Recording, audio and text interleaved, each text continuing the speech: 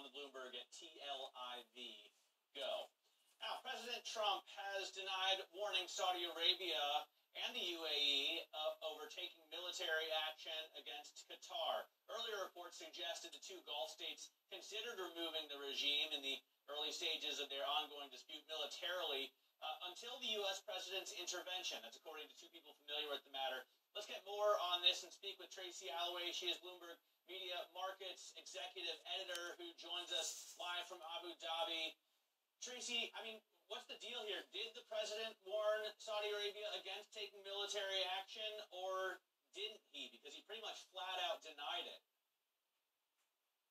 Yeah, he did flat out deny it. Uh, Saudi Arabia, by the way, is also vehemently denying report, but I'm told that Bloomberg is quite confident in the original sources that it spoke to. Now, the notion that two members of the Gulf Cooperation Council could ever be considering military action against another one of their members is pretty shocking, uh, to be honest. Remember, the GCC was supposed to be a sort of European Union light for the Gulf region, uh, lots of economic and political cooperation.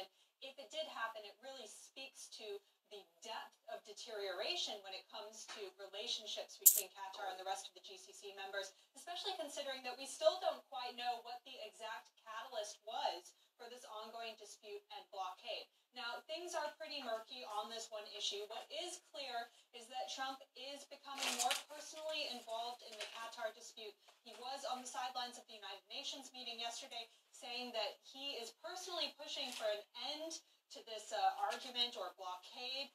And that's because he believes that isolating Qatar now will only push it closer to Iran. And as you both know, there was a lot of anti Iran sentiment coming out from the Trump administration at the UN this week, notably from Rex Tillerson, who was calling for significant changes to the Iran nuclear agreement.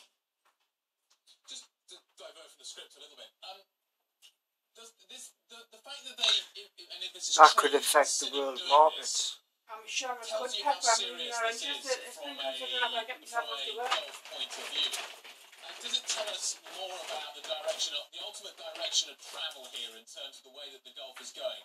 If, the UAE and Saudi considered military action in Qatar, what are they thinking about in terms of Iran and the kind of gearing up that they're preparing uh, for that? You look at defence spending right now. You look at what is going on.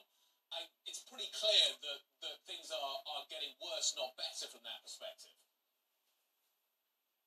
I think that's absolutely right, guys. Certainly the trajectory of the relationship does not appear to be very positive at the moment. Uh, Trump, by the way, again, he denied the report. He also thought that there would probably be a resolution to the dispute. Uh, I think he used the Jacket words pocket. that we might be surprised please. that there would be a resolution relatively Alright. soon, something like that. But again, it's unclear exactly who is going to make the first move. You'll remember a couple weeks ago we had a supposed phone call between Saudi